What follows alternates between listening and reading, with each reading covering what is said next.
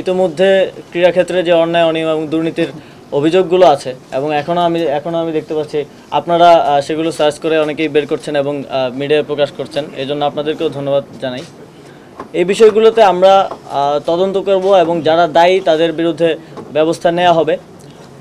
এবং ভবিষ্যতে যাতে এরকম কোনো ঘটনা না ঘটে সেজন্য ইতিমধ্যে আমি বিসিবির সাথে, বিসিবির সংশ্লিষ্ট এবং ক্রিকেট সংশ্লিষ্ট যাদের সাথেই কথা বলেছি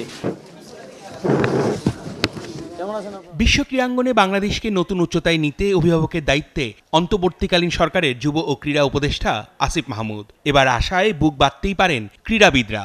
ওদের পারফরমেন্সকে সর্বোচ্চ গুরুত্ব দিতেই দেশে প্রথমবারের মতো স্পোর্টস ইনস্টিটিউট। পিক পারফরমেন্সের জায়গায় আমাদের একটা দুর্বলতা রয়েছে তার জন্য আমাদের স্পেসিফিক কোনো প্রতিষ্ঠান নেই।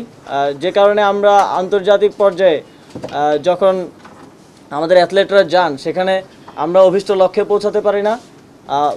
সেই জায়গায় ব্যর্থ হই। তার জন্যই পিক পারফরমেন্স সৃষ্টির পিক পারফরমেন্সের জন্য প্রশিক্ষণ দেওয়ার জন্যই স্পোর্টস ইউনিট স্পোর্টস ইনস্টিটিউট প্রকল্প নেওয়া হয়েছে। ইউকে ইউএসএ চীন, ফ্রান্স সহ উন্নত রাষ্ট্রের স্পোর্টস এবং সায়েন্সের মেলবন্ধনে যে ফলাফল এবং সাফল্য তারা অর্জন করেছে, তা দেশের মাটিতে নিশ্চিত করাই হবে বাংলাদেশ স্পোর্টস ইনস্টিটিউটের অন্যতম লক্ষ্য। ক্রীড়া উপদেষ্টার দীপ্ত কণ্ঠে রাজনীতিমুক্ত ক্রীড়াঙ্গন গড়ার আভাস, পরিষ্কার। শত বাধা পেরিয়ে পরাধীনতার শিকল ভেঙে ছিনিয়ে আনা হয়েছে সম্ভাবনাময় আগামীর বাংলাদেশ। এখন ফেডারেশনগুলো থেকেও ঘটবে এক না এক তন্ত্রের বিনাশ।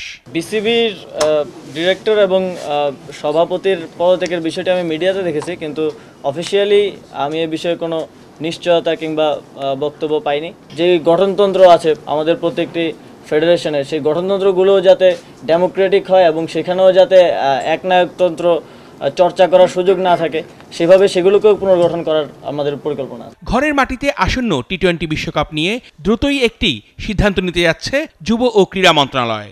এটা আয়োজন করতে পারা আমাদের জন্য একটা ভালো ল্যান্ডমার্ক হবে যেহেতু বাংলাদেশ একটা খারাপ সময় একটা সংকটকাল ইয়ে করছে। আবার একই সাথে যারা আমাদের মেহমান হয়ে আসবেন তাদের নিরাপত্তা নিশ্চিত করাটাও আমাদের দায়িত্ব। তো এই সব কিছু বিবেচনায় এটা তো শুধুমাত্র স্পোর্টস মিনিস্টার মিনিস্ট্রির মধ্যে আর নেই, এটা স্টেট ম্যাটার তো ডক্টর মোহাম্মদ ইউনুস স্যার আছেন আরও আমাদের স্বরাষ্ট্র উপদেষ্টা নতুন নিযুক্ত হয়েছেন। তো সবার সাথে আলোচনার ভিত্তিতে এই বিষয়ে আমরা একটা সিদ্ধান্ত নিব। আইসিসির সাথে আমাদের কমিউনিকেশন চলমান আছে। অর্ণব বাপি, একাত্তর।